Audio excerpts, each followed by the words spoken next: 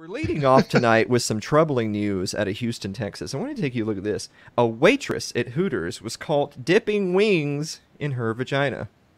24 year old Jessica Sinclair was taken into police custody after she was witnessed by coworkers dipping hot wings into her vagina before serving them to customers who she claimed had been rude to her. Um, can, can we can we pull that picture back up one more time?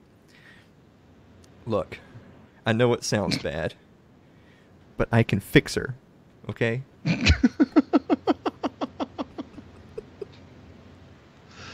Everything about that story is trouble. All right.